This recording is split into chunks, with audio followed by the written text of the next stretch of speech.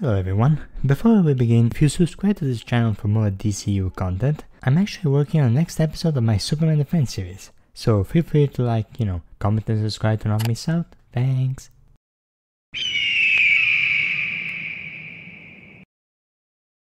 I gotta be honest, I had to watch this episode twice to fully get into it. Don't get me wrong, if you told me you, you would already love this episode, I would 100% believe you and understand why. But the, as the shortest episode of the season so far, I feel like it lacked meat in some areas. That said, I can't say I have mixed feelings on it either, because I really do love how much charm personality it has, and I can't quite say it's as much as the stuff I didn't enjoy. So without further ado, let's begin. I did feel like the analysis were great summaries of the characters, but not much in exploring them as characters. I was hoping for, for some more delving into the tragic nature as experiments, maybe even a bonding moment somehow woven into the battle itself. I do really like what we got, but I couldn't help but feel like they could have gone down a route they did in the past. Maybe something related to Stitch ultimately being built for destruction but sovereign up, in contrast to Rocket being made for the control but got wilder. Also, Dummy literally just dubs over a scene of, little, of a little Stitch short, going over all the creatures Stitch has made of. It would be neat to actually show different scenes for the various attributes, but it's literally just the same scene with a monotone voice. I watched this short a thousand times when I was a kid, so it probably didn't help, but I'm sure it worked wonders for the unaware. Just that for me, it's just a bit uh, uninspired. That said, Wiz admiring Jumba Jookiba as a, as a fellow mad scientist is a nice touch. Funnily enough, I did have the idea of Wiz and Boomstick making fun of the more um, vulgar selves in the other seasons. And we do kind of get a version of that in this episode, with Wiz joking about his co-host ex-wife, like the lad they used to always do, but now takes great offense at someone else doing it, in rather amusing fashion. Again, much like I imagined. Gotta say, the chemistry between these two this season so far has been the best it's kinda ever been. They got a new team of editors and writers I think, and so far they've been killing it. Also, it's very nice to hear Boom, Boomstick passionately talk about something other than explosions, with some fun facts. Even Wiz is proud of his friend's enthusiasm. Rocket's weapons are crazy, like the Rampart armed phasing What the cannon, hell is this? The zoom in edits uh, kill me every time though, I swear they're like my kryptonite. Well, my, my other kryptonite. is sponsored by BetterHelp. It can be easy to spend all your Now let's go into the fight itself. For starters, in the background we see the constellation from Macho Man vs Kool-Aid Man in the background, which if you didn't know was one of the worst received and performing episodes in recent DB history, so it is sweet that they still acknowledge it despite that. Funnily enough, this also means that Stitch vs Rocket takes, pla takes place in at least the same galaxy as Harley Quinn vs Jinx and Trunks vs Silver. Talk about a fun crossover. Now that universe sounds rather wonky. The common location is definitely the most interesting we've gotten this season and probably the most abstract we've ever gotten in general. Like with like there's waterfalls seemingly going forever and perfectly static static pools of water in the middle of the space. It does look fiddly enough alien, but just a bit too wink wink about the characters in my opinion. Oh I get it, it's like Hawaii, but in space, by combine because it, mix, it mixes up the associated places. There's the ice cream guys here. Don't get me wrong, I love all they did it, including the surfing and the whole Hawaii theme. It works perfectly fine, but it comes across a bit immersion breaking for me. Maybe they want to spread some chaos without destroying a very much inhabited Hawaii, but alas, it's perfectly harmless, and works wonders for the fight itself.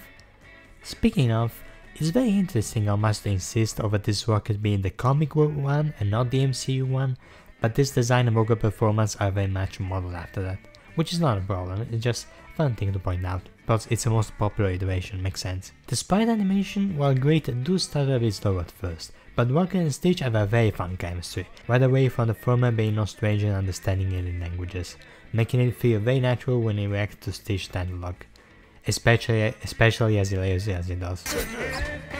What did you say about my mother? And I've been saying a lot that a lot this season, which really says something. I'm not really one for the for the ah or the whoa than the ha-has, believe it or not. The rest of the fight perfectly captures the dynamic as a gadgeteer genius versus demolition beast, with Rocket immediately going for the set of traps once he sees how overwhelmed he is in a physical struggle, leading to a very Looney Tunes series of events, again very hilarious to watch. And this part is spe- specifically with Rocket leading Stitch into a nuke by using himself as teleporting bait, like Cecil from Invincible, was really neat. Tone overall is properly cartoony rather than comic booky, epic or action centric. Again, that's great. I love I love how this season shaped out to be an ice cream shop of various different flavors. You could argue that the pacing of the fight gets a bit repetitive, with it, with it very much being Rocket pulls out a gun, Stitch says nuh-uh, Rocket pulls out a bigger gun, and so on, so forth, and so on until the Thanos Buster gets into play. But I did feel like they made the rhythm and pacing feel entertaining enough for it to not be noticeable, unless you think about it. And I mean, in all fairness, as much as this, as many similarities and fun chemistry these two have together, it's not really a matchup you can do too too much else outside of what I just mentioned in a variety sense, especially if Stitch getting his pulse on Rocket for more than 10 seconds already potentially counting as a game over. So this time is not really about strategy or choreography, but a fun clash in personality and fight style, full of charm but not too much beyond what you see, which I think perfectly sums up the episode as a whole. The fact that Rocket already has a bunch of traps set, set up shows his fondness for strategy and tactics, whereas Stitch ultimately wins by building its victory key on the fly, which does touch on a rather interesting contrast, with Rocket being the more civilized one, but Stitch ultimately being the more adept and less explosive fighter. Excellent sprite work and vocal performances, by the way. Now, look, looking back at all the instances where fighters start holding back and press the let's get dangerous button, it's usually a last ditch attempt, when pushed beyond the physical and mental limits. But in this episode, Rocket pulls out a Thanos Buster because Stitch had a party mouth. That is honestly hysterical to me, and fits with the Trigger Happy, trigger happy temper too, until leads to his demise. Speaking of...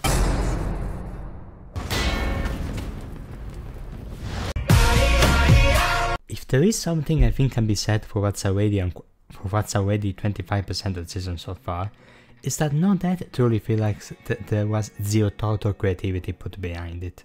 And this one is no different. While it is rather gruesome to see Rocket being skewed and blown to smithereens, they still somehow managed to work in some cartoony humor to the concept of something called irony. If you think about it, the death involves Stitch creating a rocket-like machine, crafted out of Rocket's own spaceship remains, and set to launch the Guardian straight to his own weapon stash satellite. That's literally three layers of irony that I think Rocket himself realizes in his last moments. Points to him for trying to get his teleport device to work even while being kebab though. As I'm glad to as I'm glad to say this season, it's one more didn't have to but I'm glad they did thingy.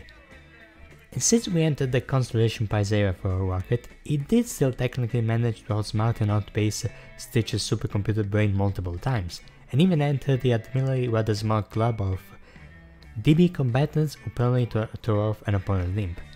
And besides the trigger happy temper, did have the equipment to potentially leave 626 in stitches, if we, if we capitalized on it.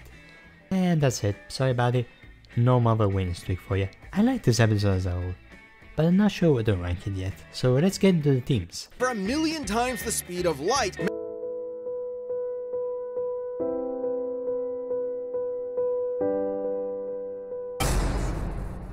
The track is really nice, and obviously Elvis inspired piece that wouldn't feel out of place in Star-Lord's Walkman either, although for the title I would have went with something along the lines of one of a kind, referencing both combatants' unique nature as experiments and their, and their respective found families. But that, but that ties together to the more touching episode my bias self was looking forward to.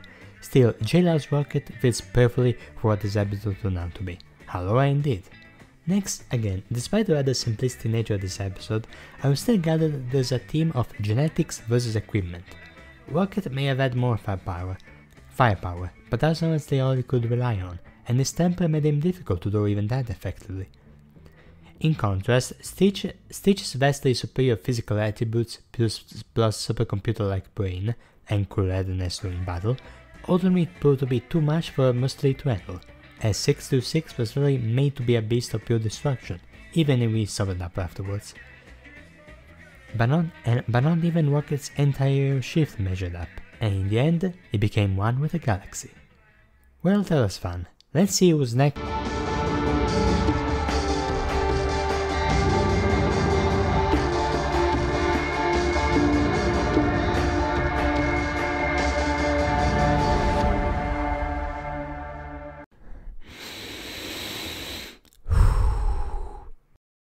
Ah, I love fallen heroes. I love how they explore the complexities of human morality. I love seeing flashback on APTI before I went wrong. I love whenever there's callbacks to simple times before fighting for my friends. so yeah, I'm kinda looking forward to Vader vs Obito. Which is odd since I never seen a single episode of Naruto, but hear me out. The last Naruto vs Star Wars episode, Kakashi vs Obi-Wan, is one of my absolute favorites of all time, in both animation, music, dialogue, and just vibes in general. There's a good chunk of similarities between Obi and Kakashi, one of them being that they both had a close friend that fell to the dark side and fights them in present day. The next episode will be about those two friends, essentially making this a sequel episode, and I cannot express how hype that gets me. They gotta make a callback to when Obi saw Anakin when underneath Kakashi's illusion eye, illusion eye thingy. All Might vs Might Guy, Yoda vs King Mickey, Madara vs Aizen are also some absolute banger episodes as well, makes for a pretty exciting track records with both series in general. And there's a specific element that follows matchups centered around the Uchiha family that Obito is a part of, specifically in the musical department.